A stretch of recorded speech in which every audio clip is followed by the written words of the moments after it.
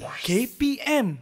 Assalamualaikum warahmatullahi wabarakatuh. Syukran jazilan jamil hadirin, jamil musyahidin uh, wa mustami'in al-kiram khususan di tulab wal muallimin wa syukran aidan li idaatil Didik TV wa ahlan wa sahlan wa marhaban bikum um, jadi ila barnamij Tariq إلى النجاح SPM 20 واحد وعشرين اليوم سنتعلم المادة الشريعة hari ini kita nak belajar subjek syariah tapi sebelum tu murid-murid sekalian kekalkan penjarakan fizikal pakai pelitup muka dan sebelum buat apa saja pakai cecair pembasmi kuman agar kita tak terkena jangkitan di mana-mana. Baik, hari ini subjek uh, pendidikan syariah anda mesti nak tahu siapakah guru yang akan bersama dengan kita pada hari ini? Jom kita saksikan profil guru kita.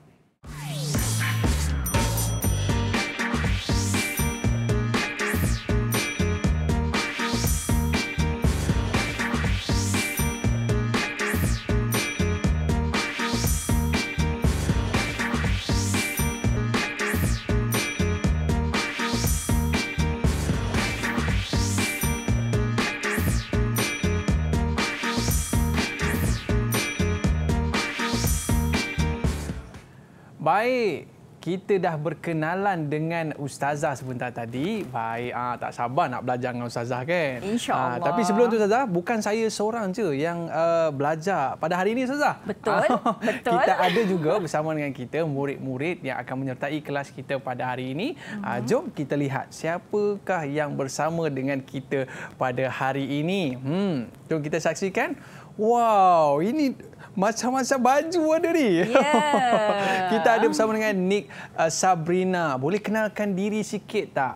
Ah, nama dan juga sekolah mana? Silakan.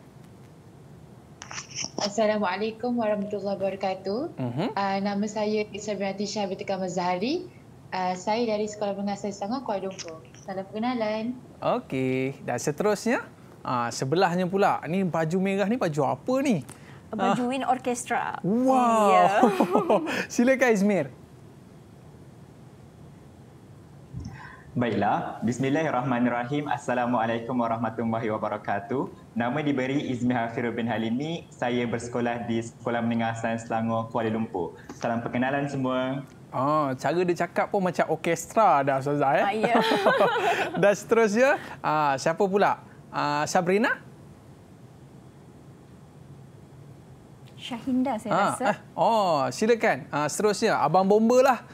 Abang Bomba, pun silakan. Boleh, ya? Okey, Abang Bomba, Adam, sila. Assalamualaikum warahmatullahi wabarakatuh.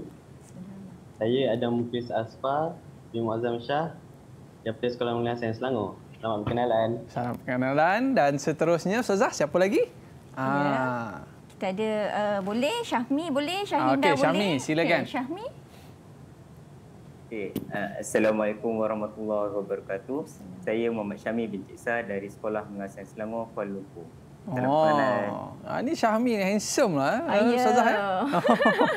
Dan kita Saya pergi pilih seterusnya. yang berkualiti, student Oh, yang berkualiti pada hari ini, ya. ni Okey. kakak pengakap kita ni. Ha, boleh kenalkan diri sikit? Assalamualaikum warahmatullahi wabarakatuh. Saya Nur Afika binti Rahim dari Sekolah Menengah Sains Selangor, Kuala Lumpur. Salam perkenalan. Dalam kenalan. Baik, Ustazah. Ada tak yang kita tertinggal? Yang kita Ah, belum kenalkan? Syahinda, Nur Ah, Syahinda. Syahinda. Silakan. Ha, Assalamualaikum. Nama saya Nur Syahinda binti Kamarudin dari Sekolah Menengah Sains Selangor Kuala Lumpur. Salam perkenalan. Oh, saya perkenalan. Terima kasih semua kerana menyertai kelas kita pada hari ini kita bersama dengan uh, Ustazah untuk uh, kita nak belajar subjek Ya, syariah Ustazah. pendidikan syariah Islamia. Ah, pendidikan Eh, syariah saya Islamia. nak maklum kepada Encik, uh, Encik Aiman jangan Aha. tersilap ya sebab Ah. kalau subjek syariah saja kita ada kurikulum bersepadu dini yang Oh, baru dalam aha. KSSM. Eh, Subjek itu memang syariah sahaja. Oh, yang Ah, dia- lain? Dan dia dalam medium bahasa Arab. Ah, yang ini nama dia pendidikan syariah Islamia dalam bahasa Melayu per- uh, medium dia. Ah, Okey, Ustazah, Hmm, agak-agak yes. murid-murid kita ni, uh, diorang ni dapat A ke tidak dalam subjek ni Ustazah? Oh, saya wajibkan mereka dapat A+. plus. Yo, ah, kalau tak dapat A, ah, tak dapat A nanti tak boleh keluar dari sekolah. Ya.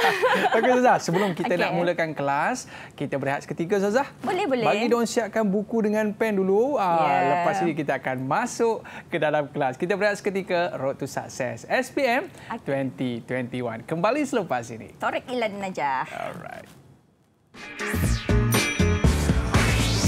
Didik TV KPM Saya berpendapat bahawa subjek pendidikan syariah Islamiah ini sangat diperlukan bagi kerjaya-kerjaya yang berkaitan dengan sistem perundangan dan pendidikan Islam seperti peguam syar'i, hakim syar'i, konsultan, pensyarah dan dai secara umumnya untuk menjelaskan kepada umat tentang perbezaan aliran pemikiran mazhab yang berlaku dalam dunia Islam agar umat Islam sentiasa bersatu hati walaupun mempunyai aliran pemikiran dan pendapat yang berbeza mengikut mazhab masing-masing.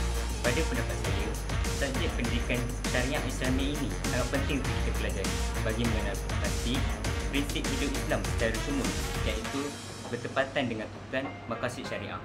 Dengan mempelajari pendidikan ini juga, kami juga mampu untuk menangkis segala salah faham terhadap agama Islam. Contohnya, fahaman Islamofobia yang sering berlaku dalam kalangan masyarakat dunia pada masa ini.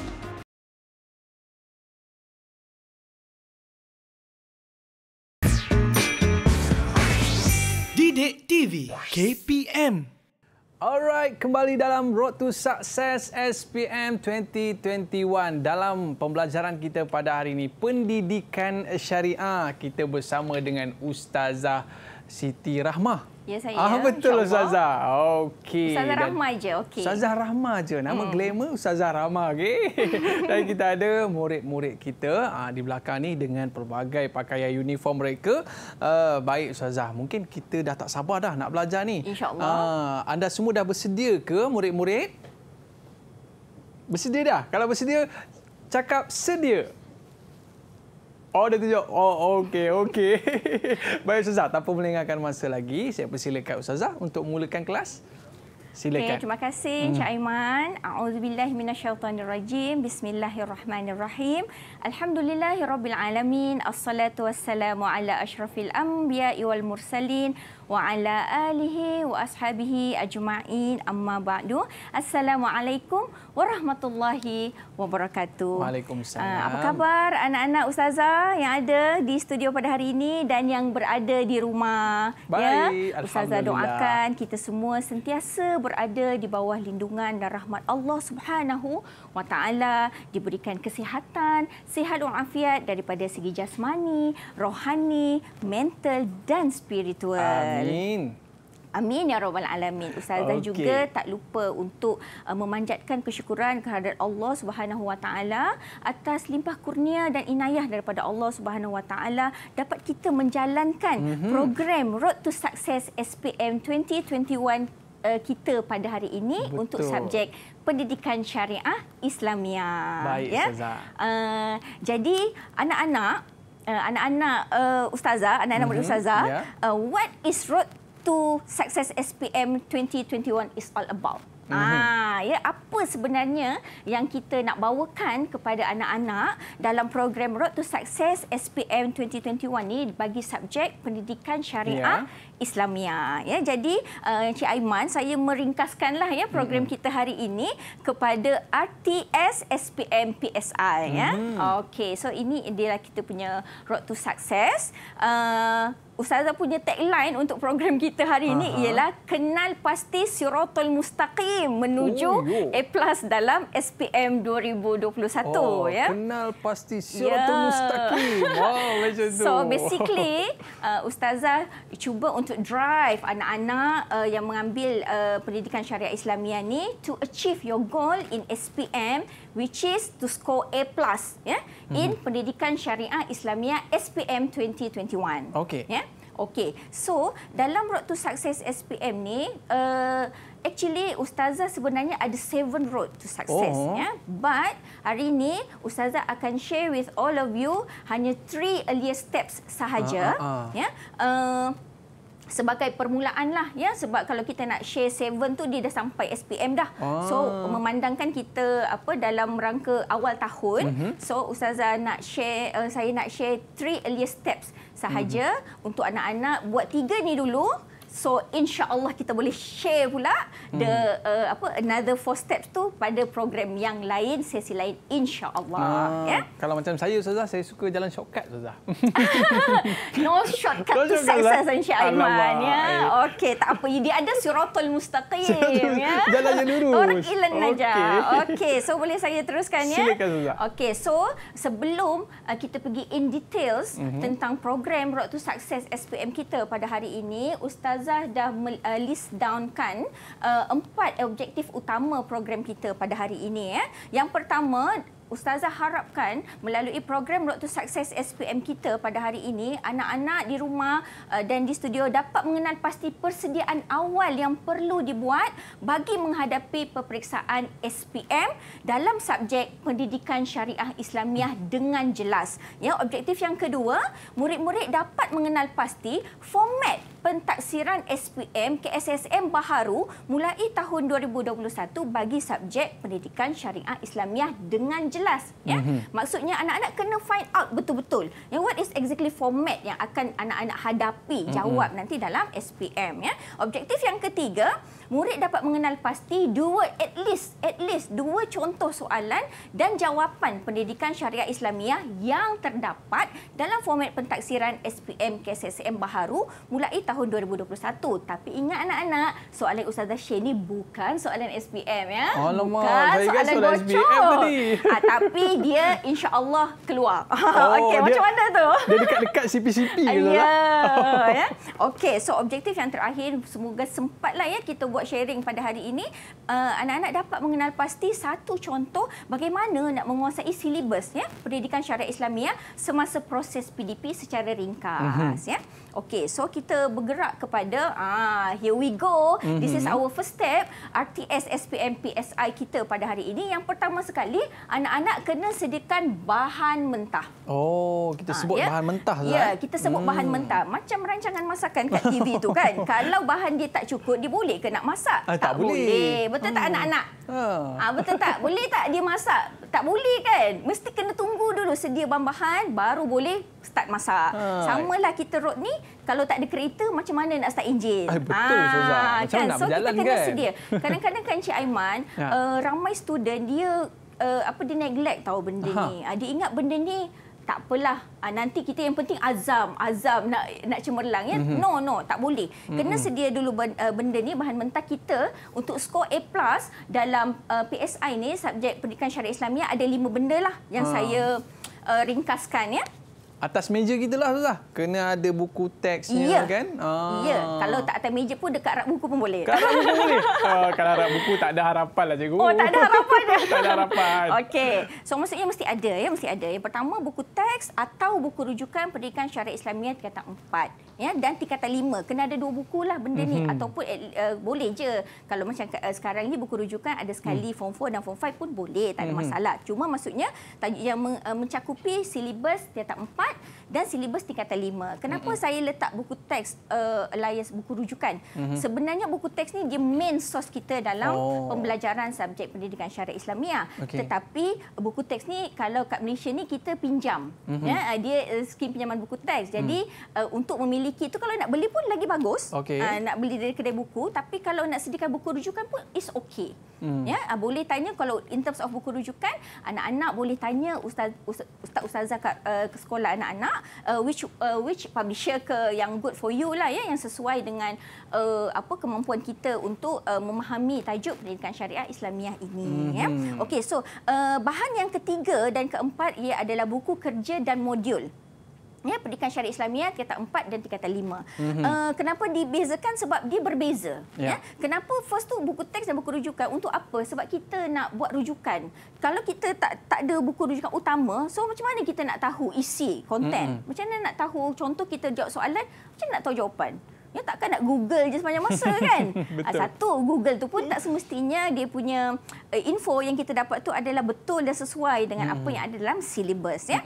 Uh, buku kerja dan modul ni kegunaannya adalah untuk kita menguasai certain-certain topik. Ya, kalau kalau ikutkan semua topik lah ya sebab buku kerja ni atau modul dia memang uh, special untuk penguasaan uh, setiap topik dalam silibus. Kemudian benda yang kelima adalah set-set soalan pendidikan syariah Islamiah format SPM KSSM baharu. Kena tekankan tekan uh, format ni. Kenapa? Sebab set soalan ni adalah penting untuk kita drill diri kita, diri anak-anak, diri anak-anak uh, untuk menjawab uh, soalan berformat SPM yang sebenar untuk kita tahu uh, apa yang diperlukan, untuk kita tahu bentuk, untuk kita find out macam mana kita nak score uh, full marks untuk setiap uh, apa uh, soalan yang diberikan, uh, soalan-soalan lah ya. Mm-hmm. Okey, ini adalah kita punya bahan mentah yang kita kena sediakan ya anak-anak.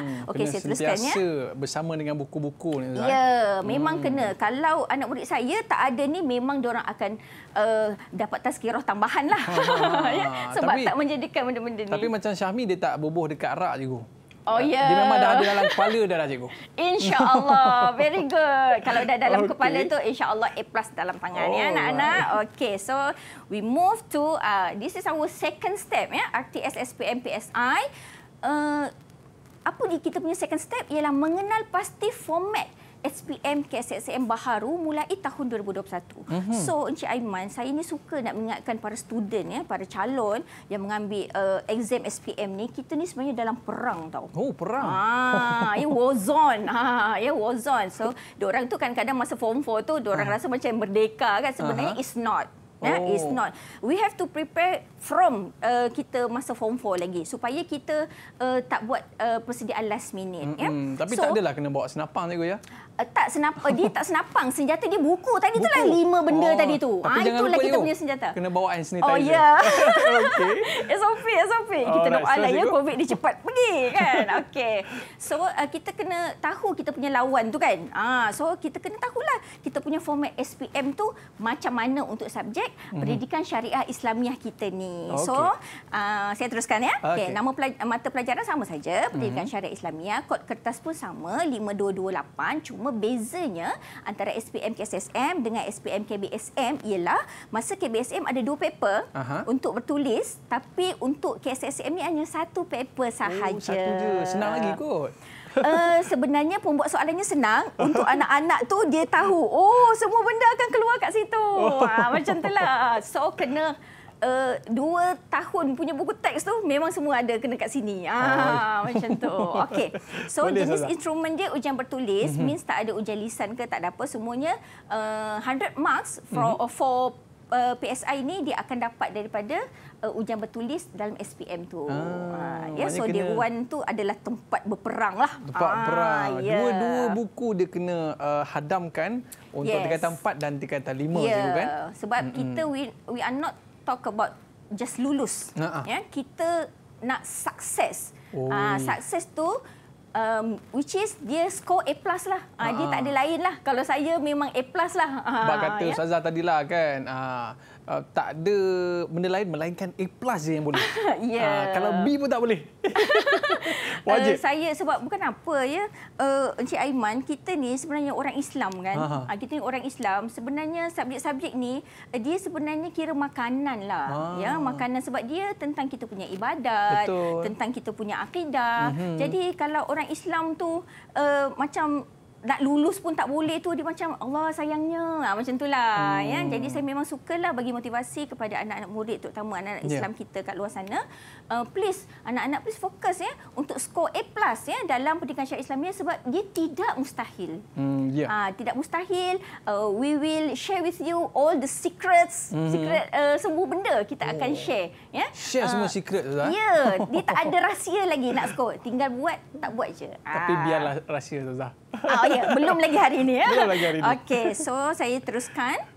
Okey, so uh, dalam format SPM ni ini mm-hmm. adalah jenis-jenis item. Item mm-hmm. ni maksudnya bentuk-bentuk soalan yang akan ditanya mm-hmm. ya uh, dalam uh, format SPM KSSM baharu which mm-hmm. is saya ambil benda ni daripada buku format pentaksiran SPM uh, KSSM baharu ya mulai tahun 2021 daripada lembaga peperiksaan ya.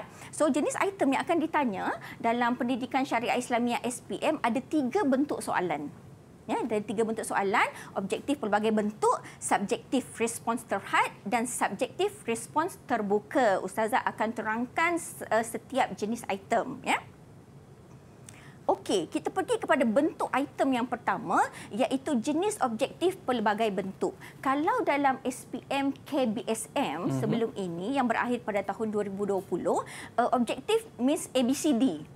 Ah, tetapi untuk uh, SPM KSSM baharu ni jawapan dia lebih kepada bentuk perkataan. So anak-anak kena tulis jawapan uh, dalam uh, mungkin dalam buku skrip jawapan atau mungkin ada lampiran khas disediakan saya kurang pasti dan belum ada taklimat lanjut daripada lembaga peperiksaan cuma nak cakap ialah uh, semua jawapan dalam bentuk perkataan uh-huh. ya uh, apa yang diberikan contoh dalam format uh, buku format itu ada yang isi kena isi tempat kosong uh-huh. ada yang kena gariskan jawapan mana yang betul diberikan okay. dua pilihan jawapan dan kemudian nyatakan betul dan salah uh-huh. ya tapi sila bersedialah untuk pelbagai jenis soalan objek objektif kerana jenis dia ialah objektif pelbagai bentuk. Mm-hmm. Ya, mungkin format uh, mungkin contoh yang diberikan dalam buku format itu mungkin terhad, ya. Yeah. Okey, seterusnya Okey, Se- sebentar sebab saya ni pantang tengok soalan, Aha. saya memang nak terus bertanyalah kepada oh. anak-anak murid saya ya, sama ada mereka ni ada tak membuat ulang kaji. Ha. Oh. Bersedia ya? ni, bersedia, bersedia. Ha. Jadi kalau tak dapat jawab tu memang biasalah akan mendapat tazkirah tambahan lagi tazkirah daripada tambahan. ustazah. Kenapa Kalau saya dulu ustazah kena ketuk ketampi. okay. Kadang-kadang tu ketuk ketampi tu dia tak tak apa tak efek tau. Efek? Eh? Ah ya, jadi apa yang efek tu kadang kita suruh hafal. Oh, ah biar benda tu educate lah, ya. educate ya lah. something yang useful for them. Okey. So okay. ini adalah uh, bentuk contoh bentuk item satu objektif pelbagai bentuk. Kalau kita lihat uh, pada paparan di sini uh, jawab pilihan jawapan telah diberikan mm-hmm. ya. Pilihan jawapan telah diberikan kemudian uh, calon-calon atau murid-murid disuruh uh, tulislah jawapan mana yang betul ya. Okey soalan satu persepakatan dalam kalangan ulama terhadap sesuatu hukum dikenali sebagai kalau kita melihat kepada soalan ini ya saya memang terus teranglah saya memang yakin objektif pelbagai bentuk ni dia banyak menekankan kepada pengertian-pengertian istilah oh. ya yang oh. terdapat yang banyak sangat terdapat dalam subjek pendidikan syariah Islamiah kita. Mm-hmm. Ya. Uh, jadi anak-anak salah satu tips untuk dapat memberikan jawapan yang betul dalam uh, soalan berbentuk objektif pelbagai bentuk ini ialah anak-anak kena hafal. Ah. Uh, kena hafal dan menguasai at least you know the concept ya mm-hmm. untuk setiap terms yang uh, diberikan dalam subjek pendidikan syariah Islamiah ini. Okey, so nak tanya ni anak-anak yang ada dengan bersama ustazah hari ini, siapa yang boleh bagi jawapan agak-agak ni kita ada as-sunnah, al-furu, al-ijma, al-qiyas dan al-illah. Ha ya, siapa yang nak memberikan jawapan pada Oh, Syahinda. Ya, sila Syahinda. Salah. Hmm. Okey, apa dia Syahinda? Ha, cuba bacakan soalan tersebut dan berikan jawapan. Ya, baca dari pertama ya. Okey. Alhamdulillah. Uh, nombor satu, persepakatan dalam kalangan ulama terhadap sesuatu hukum dikenali sebagai al-ijma. Betul ke? Al-ijma? Betul ke? Mari kita tengok skema dia. Ha, oh, mujur lah. betul. Wow. Ya, al-ij, al-ijma ini merupakan salah ini bidang usul fiqh ya dalam Aha. pendidikan syariah Islamiah. Okey, kita tengok pula soalan yang kedua ya. Okey, uh, menetapkan hukum yang tiada dalam nas, uh, nas itu al-Quran dan mm-hmm. uh, as-sunnah dengan hukum yang disebut dalam nas mm-hmm. uh, dinamakan sebagai apa? Ah, tadi yeah. Sabrina tak sabar nak jawab tu Ustazah. Oh, Kita bagi dia jawab bukan tengok. Bukan main lagi ya, Nik Sabrina. Okey, apa dia jawapannya? Jawapan saya al-qiyas. Hmm. Al-Qiyas. Betul ke Bukan jawapannya? Al-Furu'. Adakah anda pasti? Ya, Al-Qiyas. Oh, betul. Ya, jawapan Tahniah, dia eh. ya. Al-Qiyas. Ah, so, dia orang beranilah jawab sebab ada pilihan jawapan kat sini. Hai, mana Cik? Betul. Okey, uh, tapi alhamdulillah lah kita anak-anak uh, sebenarnya patut bersyukur ya kalau mm-hmm. kita dapat soalan macam ni sebab mm-hmm. lembaga peperiksaan pun membantulah kan nak memberikan jawapan yang betul kepada anak-anak. Cuma jangan pula take for granted mm-hmm. mentang-mentang atas jawapan tak nak baca sebab kalau tak baca sama juga tak boleh jawab dengan betul, Betul. ya. Okey, Okey. so kita tengok pula contoh uh, lain bagi objektif pelbagai bentuk. Mhm. Okey, uh, gariskan dia ada arahan tersendiri untuk soalan ni. Gariskan jawapan yang betul dalam kurungan di bawah. Mm-hmm. So dalam soalan ini ada dua pilihan jawapan diberikan. So kena gariskan yang mana satu uh, jawapan yang betul ya mm-hmm. untuk soalan ini. Soalan dia perkembangan tamadun Islam pada zaman Rasulullah sallallahu alaihi wasallam di Madinah ialah untuk memulihkan apa? Mm-hmm. Akidah ke ketenteraan? Ah ini ah. siapa ni? Jawab ini soalan paling senang dalam dunia ya. Okey Afika. Apa dia punya jawapan? Ya. Jawapan dia, perkembangan tamadun Islam pada zaman Rasulullah sallallahu alaihi wasallam di Madinah adalah untuk memulihkan akidah. Ya, memulihkan Oh, Betul ke? akidah. Ya. Eh, tak, tak bagi jawapan lagi. Ha, cuba kita tengok. Ah ya betul. ah jadi ingat anak-anak ya, kalau dia suruh gariskan, gariskan. Ah. Dia arahan suruh bulatkan, bulatkan. Arahan suruh apa buat empat segi, buatlah empat segi. Ah, Ah. macam tu nak cakap ni ialah dalam SPM ni dalam exam lah ya secara umumnya Uh, dia arahan yang diberikan dalam uh, soalan exam tu uh, calon atau pelajar tu dia kena ikut 100%. Oh, Ah, tak bolehlah kita ikut suka kita je nak bulat. Tak boleh Tak sebab kadang-kadang kan kalau bagi ada certain-certain subjek yang rigid kadang benda tu menjadi boleh salah. Oh, sayang boleh lah. tak dapat markah. Hmm, Ah, ya kalau dia kata betul. bulat hitam kan memang hitam lah janganlah warna lain. Oh.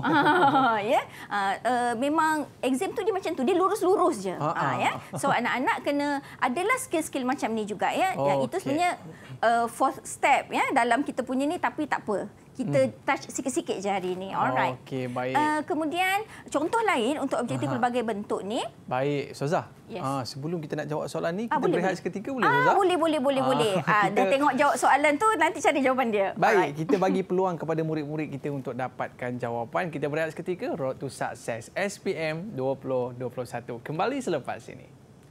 Menurut saya, pendidikan syariah Islam yang ini sangat penting untuk mengenal pasti kaedah-kaedah ilmu usul fiqh untuk menghayati pelaksanaan hukum yang telah ditetapkan oleh para ulama mujtahid. Pada pendapat saya, antara cabaran dalam mempelajari subjek pendidikan syariah Islamiah ini ialah kita mesti mampu berfikir secara aras tinggi untuk menghayati secara terperinci pelaksanaan amal ma'ruf nahi munkar berdasarkan sistem perundangan Islam untuk menyelesaikan persoalan dalam kehidupan seharian. Didik TV KPM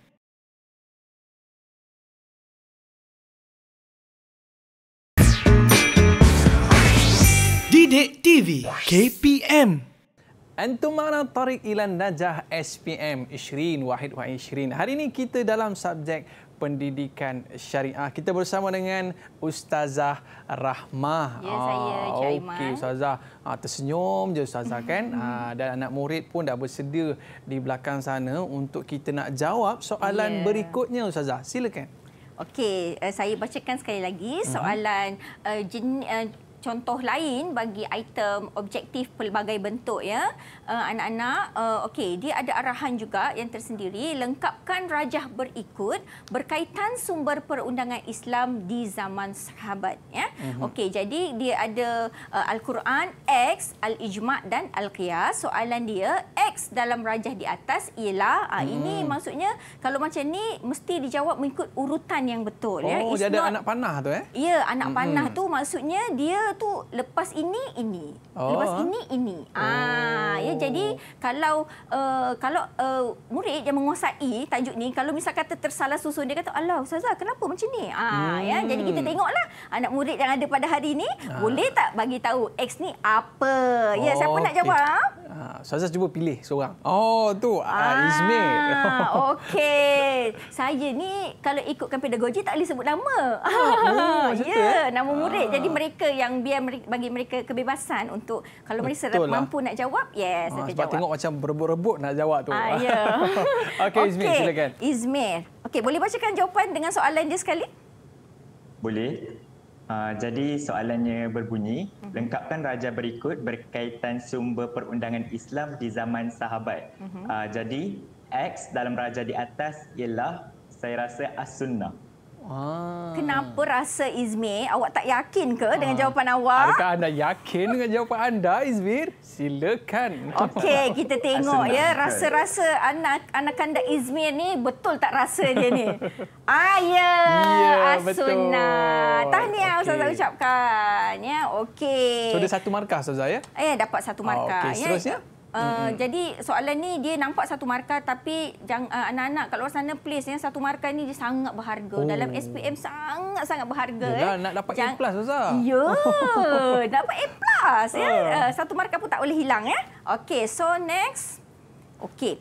Uh, lengkapkan pernyataan berikut. Ya. Jadi untuk arahan ni dia kepada dua soalan lah ya. Jadi anak-anak setiap arahan yang ada dalam kertas soalan tu baca.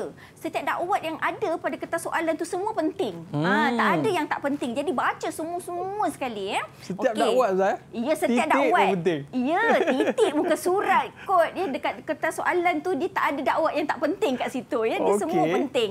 Okey, soalan nombor lima. Menangkap binatang liar yang halal dimakan dan belum dimiliki serta belum dikuasai adalah maksud apa? Jadi Mhm. sekali lagi Encik Aiman, kalau kita Mhm. tengok dia memang kepada pengertian istilah. Mhm. So saya nak tekankan anak-anak pendidikan syariah Islamiah ni dia banyak sangat terms dan istilah please hafal. Kalau boleh memang hafal yang sama sebiji macam ada dalam buku teks. Dia punya maksud supaya uh, kita dapat senanglah nak grade markah penuh yang dia offer tu ya. Okey nombor lima ada siapa yang ingat tak maksud kepada uh, terms apa kat ini? Aha. Ah, sila angkat tangan. Ah, ya, Adam. Apakah? Ya, Adam. ah, pengertian dia, Ustazah? Ya, maksud Mm-mm, kepada maksud. istilah apa? Mm-mm. Hmm. Silakan. Uh, jawapan dia ialah pemburuan. Ah. Pemburuan. Pemburuan. Kenapa pemburuan? Kat mana dia punya keyword Dia pemburuan tu? Dia melibatkan uh, binatang.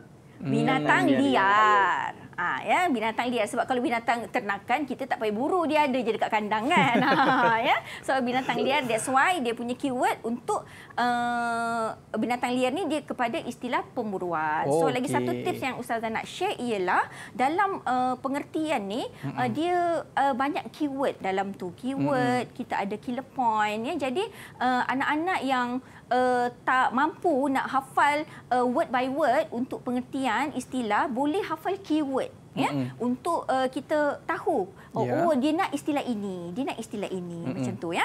Okey soalan nombor enam uh, menetapkan hukum yang tiada dalam nas dengan hukum yang disebut dalam nas dinamakan ustazah rasa kita dah jumpa soalan ni tadi kan? Ah so siapa tak bagi tak dapat betul? Ah Syahmi tak dapat betul siaplah ya? Okey Okey, Ya, silakan. Syami. Ah, soalan 6 menetapkan hukum yang tiada dalam nas dengan hukum yang disebut dalam nas dinamakan al-qiyas. Ya, Oh. Al-Qiyas. Ya Allah, Ustazah lupa nak bagikan dia punya skema jawapan ya. Ha, gembira sangat nak boleh dapat jawab betul ya. Okey, Al Al-Qiyas. Okey, tahniah kepada anak-anak murid Ustazah yang dapat menjawab soalan dengan betul. Mhm. Okey, so ini adalah bentuk terakhir yang Ustazah akan kongsikan bagi bentuk objektif pelbagai bentuk. Uh, so, uh, arahan dia nyatakan betul atau salah bagi pernyataan berikut ya.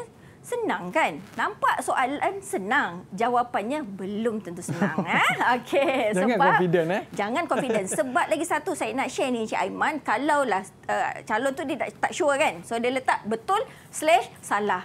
Aha. Ha, dia suruh uh, ustazah atau ustaz atau pemeriksa pilih jawapan dia. Hai, siapa Memang yang- salah lah jawapan dia tu. Siapa yang ambil exam ni, Ustazah? Dia suruh kita pula jawab. Okey, silakan. Uh, sebab siapa suruh Encik Aiman dekat sini, saya memang ajarlah siapa-siapa yang ada. Okey, so soalan dia, antara keistimewaan tamadun Islam ialah menerima kemajuan tamadun lain yang selari dengan ajaran Islam dan berkembang dalam pelbagai aspek kehidupan. Mm-hmm. Jadi anak-anak kena tahu konsep baru boleh memberikan uh, jawapan yang tepat untuk soalan ini sama ada betul ataupun salah. Ya. Jadi Mhm. siapa yang uh, tahu konsep ni? Syahinda. Okey. Boleh cuba? Ah, silakan. Ah, jawapan dia betul. Betul. Betul. Ya ke? tengok Ini ke keistimewaan tamadun Islam. Ya, betul. Okey. Tahniah Hebat Ustazah semua. ucapkan. Jawapan ya. semua betul. Ah ya. Okey. Uh, sebab mereka ni memang saya suruh buat ulang kaji sebelum Ah. uh, sebelum menyertai program kita pada hari ini. Jadi maksudnya kat sini kita boleh prepare untuk exam. Ya. Ah, yang kita boleh prepare. So, uh, jangan sangka yang tak prepare tu masuk exam boleh jawab. No, dia takkan boleh jawab punya. Mm-mm. Ya? Okey. So kita masih lagi dalam second step. Uh, ini adalah Ustazah nak kongsikan jenis item yang kedua iaitu subjektif response terhad. Subjektif ni biasanya Cik Aiman jawapan tu ditulis dalam skrip jawapan lah Mhm. ya. Uh, skrip kosong, eh, skrip jawapan kosong uh, calon akan beri jawapan kat situ Ya. ya. So penerangan dia untuk jenis subjektif respons terhad ni uh, calon uh, soalan ni berkecenderungan mengehadkan bentuk dan respons pelajar walaupun uh, jawapan tu diminta daripada uh, buah fikiran pelajar tapi sebenarnya dia berbentuk fakta Ya soalan uh, jawapan dia tu dia tak boleh digoreng. Ah istilah kita lah. Oh, Dia okey. tak boleh digoreng. Itu Hmm. sebab tu terhad ya. Uh, bentuk respons biasanya dihadkan melalui skop yang disoal dan markah yang diperuntukkan. Jangan pening-pening dulu. Mhm. mm-hmm. akan share contoh soalan nanti. Dan biasanya item ini memerlukan pelajar memberikan respons dalam satu frasa atau satu perenggan. Ya, dia based uh, on marks lah yang di offer dan untuk setiap soalan tu. Kalau misal kata satu poin jawapan dia offer dua, biasanya jawapannya dalam bentuk uh, perenggan. Mhm. Kalau satu poin jawapan di offer satu markah, cukup dengan bentuk frasa sahaja. Hmm. Ya, Ada contoh tak Ustazah untuk uh, ada item untuk item ini? ni ada. Jangan Mm-mm. risau sebab saya akan bertanya juga ya kepada Ah. anak murid saya Risaulah, sama Zazah. ada Okey. Eh, dia memang uh, antara uh, skill yang kita perlu ada untuk skor A+ dan sukses dalam subjek pendidikan syariah Islamiah ni Cik Aiman adalah kita buat drilling. Okey. Ah, buat drilling ni kita kena biasakan diri kita. Sebab uh, dengan benda-benda ni lah yang benda tu nanti akan tegam tau, tersave. Ah, dan Hmm. download dan tersave dalam memori kita. Okey. Okey. So contoh soalan subjektif respons terhad jelaskan pengertian ilmu usul fiqh. Ah, Hmm. nampak tak anak-anak? Subjektif means anak-anak kena jawab dalam bentuk ayat. Ya. Mhm. Uh, respons terhad maksudnya uh, kena bagi fakta. Mhm. Ah, tak boleh goreng. Ah, tak boleh ikut goreng-goreng ya, goreng air fryer ke ah, semua tak boleh. Dia kena ikut kalau saya memang sarankan ikutlah apa Oh. yang ada dalam buku teks kita. Takut hangit Ustazah. goreng punya goreng ah, hangit ya, lah. kalau hangit tu memang mm, ah, macam tu Oh, lah kan. Ya. Okey, so ah, siapa anak-anak ni yang ingat pengertian Mhm. ilmu usul fiqh ni? Okey, Ah, silakan. Syahmi, Oh, confident Syahmi. je Syahmi. Nak dengar jawapan betul tak? Okey, sila Syahmi. Uh, ilmu usul fiqh uh, ialah ilmu yang telah digunakan oleh ulama dalam menetapkan hukum syarak. Ilmu Hmm. yang digunakan oleh ulama Oleh dalam ulama. menetapkan hukum syarak. Okey, sama ya sebab saya memang uh, biasakan anak murid saya untuk menghafal ya pengertian ilmu usul fiqh dan uh, jangan sang, uh, apa jangan rasa kalau kita hafal jawapan tu alah budak apa pelajar ni dia tak kebat. Bukan. Uh, dia macam ni untuk uh, murid-murid kita berfikir secara kebat, aras tinggi, dia memerlukan info, dia memerlukan ilmu, dia Betul. memerlukan fakta. So uh, benda-benda aras rendah ni memang diperoleh dengan cara mengingat dan memahami sesuatu istilah ataupun konsep ya. Mhm. Jadi jangan risau kalau uh, rajin menghafal is better for you ya. Mhm. Is better, is okay. Ya. So macam ini boleh juga kita uh, cari keyword kalau tak mampu nak hafal word by word, boleh cari keyword kalau macam dalam ilmu usul fiqh ni dia ada ilmu dia punya keyword yang pertama dan yang kedua adalah menetapkan hukum syarak. Mhm. So kalau dah nampak tu Oh, insya-Allah kalau uh, dalam uh, ujian dan peperiksaan kalau dia letak keyword insya-Allah boleh grade markah kat situ ya. Mm-hmm. Okey, soal uh, contoh seterusnya untuk subjective response terhad senaraikan dua prinsip perundangan Islam. Dia offer dua markah. Ya, dia offer dua markah means satu poin jawapan dia akan offer satu markah sahaja so boleh dijawab dalam bentuk frasa sahaja tak perlu dalam bentuk ayat penuh ya okey uh, so anak-anak ada yang ingat prinsip perundangan Islam yang kita telah kita pelajari okey uh, Nick Nick Sabrina okay. um dua prinsip sistem perundangan Islam mm-hmm. yang pertama uh, al-adalah keadilan mm-hmm. okay. al-adalah yang kedua asyum Syumun. Men- ya, menyeluruh. Okey. Uh, sekarang ni dia minta dua markah uh-huh. dan dia minta dua jawapan tapi ustazah sediakan Ceng ceng lima. Oh, boleh lima jawab jawapan. lebih Ustaz? Ya, ah. boleh jawab lebih dan ini sebenarnya adalah skema keseluruhan lah oh. uh, daripada kita punya silibus. Memang ada lima ni. Me, uh, maksudnya kalau student atau calon dia bagi dua antara skema ni betul jawapannya. Uh-huh. Dan student kalau dah hafal lima-lima ni nak bagi lima terus pun boleh. Oh. Tak ada masalah. Kalau ada yang salah uh. pun dia boleh backup balik. Yes. Okay. Jangan risau. Pemeriksa atau ustaz-ustazah dia akan tanda semua semua jawapan yang ada. okay. Ya, itu kewajipan kami lah sebagai ustaz-ustazah ya. Mm-hmm. Itu kami, uh, kewajipan kami. Dia tak dua uh, dua je uh, tak tak tak. Kita akan tanda semua sekali jawapan yang uh, calon berikan ya. Okey, so uh, al-adalah kita ada dengan asyumul ya. Kita kita pun ada. Selain itu kita ada ada uh, ada adamul haraj, killatut taklif dan at-tadarruj fit tashri' ya. Okey, so kita ke, uh, pergi uh, kepada contoh jenis item yang ketiga subjective response terbuka. So subjektif sama juga maksudnya tadi kena isi uh, tulis jawapan pada skrip jawapan. Uh, respons terbuka uh, yang ini ni yang istilah orang kita boleh goreng lah. Oh. Ah, boleh goreng tapi goreng jangan sampai hangit kan macam Encik Aiman okay. kita cakap tadi. Jangan sampai hangit lah. Ah, goreng jangan sampai hangit. Means goreng tu gorenglah pakai uh, ilmu. Ah, ah goreng berilmu pakai bukan otak Zai pakai otak. tak goreng yang hangit tu pakai otak juga tapi uh-uh. salah dia caranya tu ya. Okey. Okey. So uh, subjek uh, subjective response terbuka ni dia memberikan kebebasan ya pada pelajar untuk merancang dan membentuk jawapan. So dalam uh, untuk soalan jenis ini dia lebih kepada mainan teknik menjawab. Uh, jadi mm-hmm. kalau calon atau pelajar menguasai teknik menjawab untuk soalan jenis begini insya-Allah dia mampu uh, memperoleh markah lah. Oh, ya, okay. Kerana dia punya uh, jenis jawapan tu lebih uh, fleksibel hmm. ya.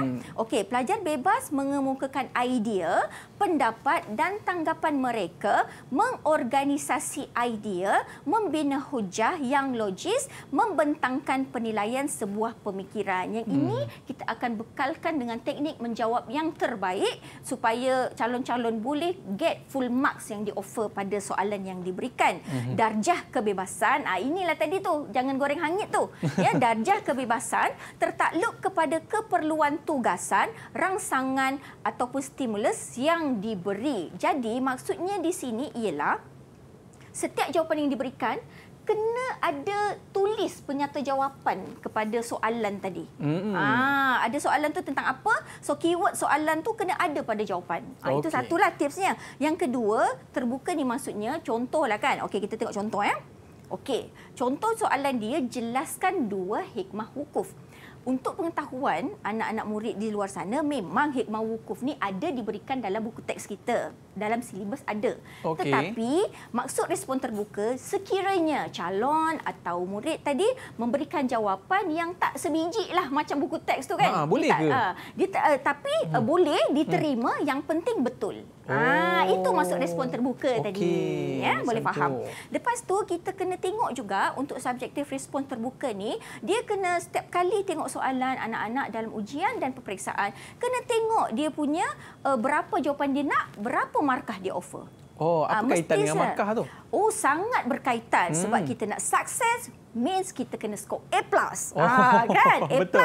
dia markah, markah, markah, markah. A+ okay. wajib betul kan? Yes, ya. Dan tidak mustahil ya. Oh, okay. Tidak mustahil. Tidak betul, mustahil. Betul. Means okey, contoh dua hikmah kan. Dia nak dua hikmah, maksudnya dia nak dua pil- uh, jawapan, dua poin jawapan, dia offer empat markah. Means mm-hmm. uh, satu poin jawapan dia uh, offer two marks. So oh. two marks ni di consist of satu markah untuk isi, okay. satu markah untuk huraian. Oh, ah, macam tu dia memang dia. macam tu. Yang hmm. kalau anak-anak dan murid-murid ni uh, tahu ya dia punya format formula ni kan dia memang uh, dia boleh berusaha lah untuk dapat full marks eh mm-hmm. saya selalu tekankan you can get full marks for every single question yang ditanya dalam kertas soalan mm-hmm. ya uh, jadi uh, biasanya untuk huraian ni uh, kita tengok kita bagi dulu orang menjawab baru kita tengok skema ya untuk jawapan hikmah wukuf ni. Okey, okay, jangan sangka ustazah dah syok kat sini, you all terlepas tidak ya. Okey, siapa yang nak menjawab ni? Hikmah wukuf ni. Ha. Ya. Ustazah nak sebut siapa-siapa? Okey, cuba cuba tak apa, salah pun tak apa. Kena Nanti menyebut ni, boleh? Saya sebut ya. Okey. Orang ni macam macam takut Afika. je. Ya. Okey, ya Afika. Mhm. Afika? Silakan. Di freeze ke tu? Okey. Mm. Dijelaskan dua hikmah hukum. Uh-huh. Yang pertama, kita dapat mendekatkan diri kita kepada Allah kerana membelanjakan harta ke jalan Allah. Ah, yang kedua, okay. kita dapat merapatkan jurang antara orang kaya dengan orang miskin kerana yeah. orang kaya dapat membantu orang miskin dengan ikhlas. Oh, ah, okey. Kita tengok ya. jawapannya. Ah, okey, kita tengok dia punya kaitan tu wukuf ni kan dia jenis membelanjakan harta ke jalan Allah Aha. ya. Dan dia punya jawapan tadi yang pertama tadi mendekatkan diri dengan Allah Betul. dan yang kedua merapatkan jurang antara orang kaya dan orang miskin. Mm-hmm. Jadi ustaz uh, jawapan yang ustaz sediakan Okey, mendekatkan diri kepada Allah kerana membelanjakan harta ke jalan Allah. Tengok ya, uh, dia ayat dia panjang sebab dia nak dua markah tahu untuk satu uh, jawapan. Sa- sa- isi pertama adalah mendekatkan diri kepada Allah. Ha, kalau calon jawab macam ni, dia hanya dapat satu markah sahaja.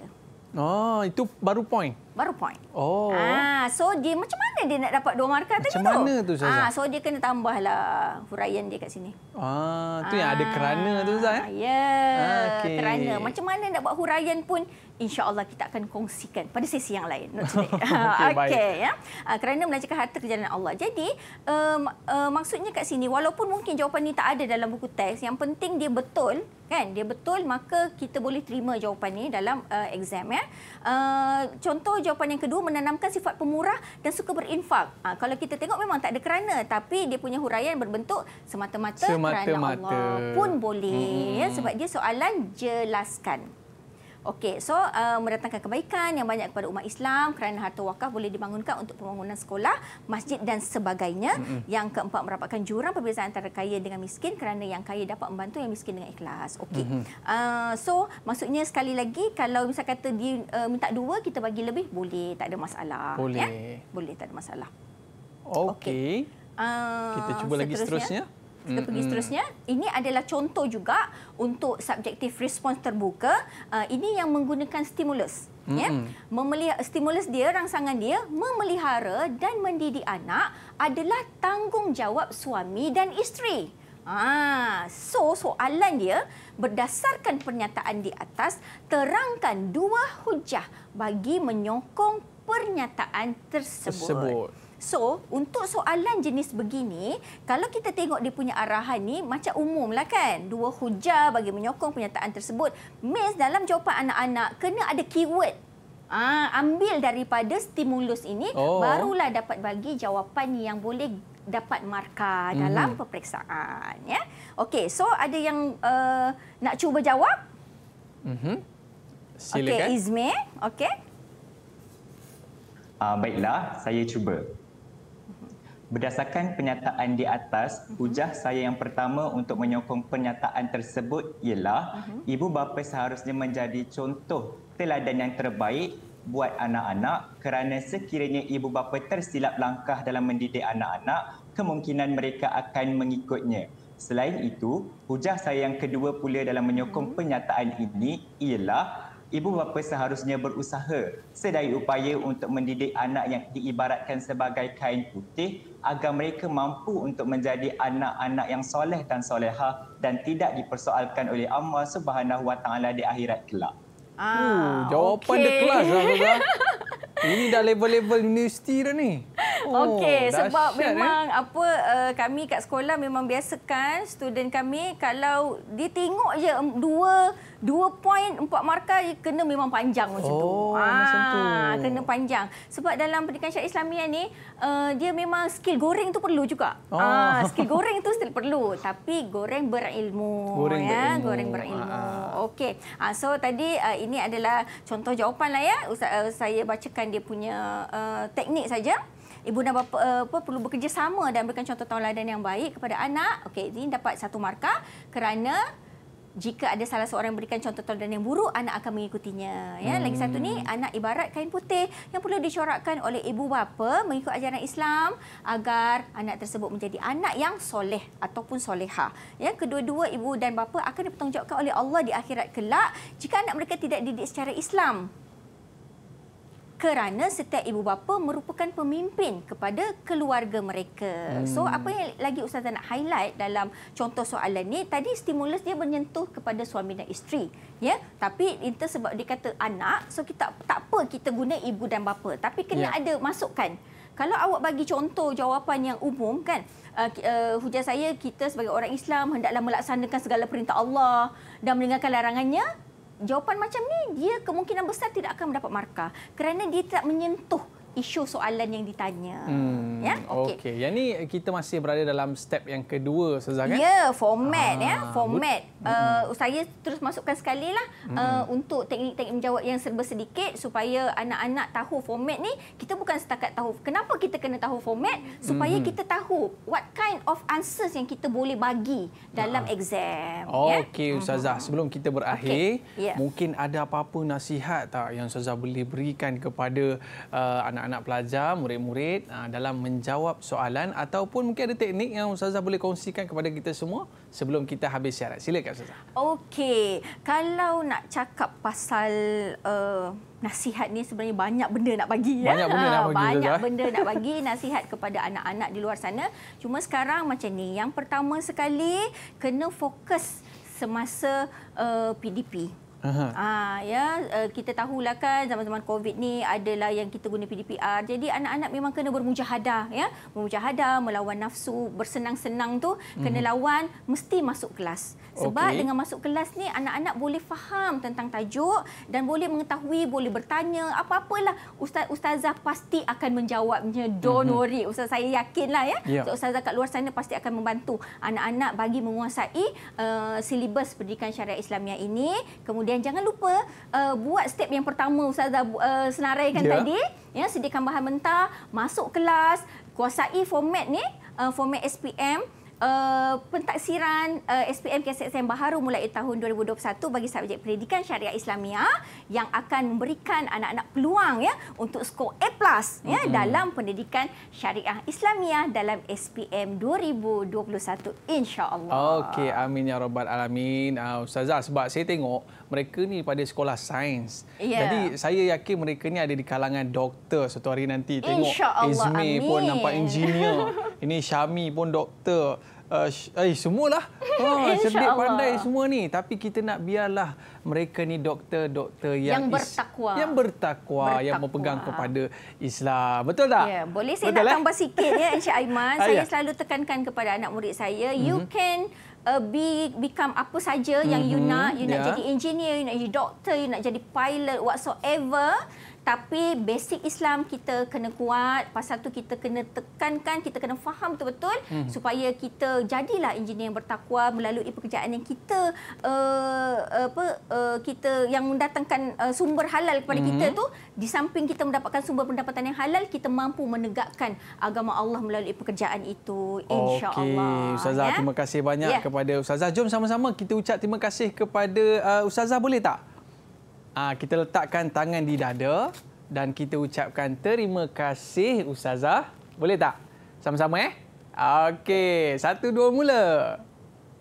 Terima kasih Ustazah. Baik. Sama-sama, Ah, sebab itu hashtag kita Ustaz. Oh, Terima ya. kasih cikgu. Ah, Yeah. bersempena dengan tak lama lagi kita akan menyambut Hari Guru. Jadi tema sambutan Hari Guru pada tahun 2021 ialah berguru demi ilmu bina generasi baharu. Siapalah kita tanpa guru-guru kita. Dan kita nak ucapkan terima kasih kepada Ustazah Rahma dan juga murid-murid sekalian ah, kerana menyertai kelas kita pada hari ini dan kita berada di akhir siaran. Kita undur diri dulu. Bye-bye. Assalamualaikum warahmatullahi wabarakatuh. Bye-bye. Waalaikumsalam.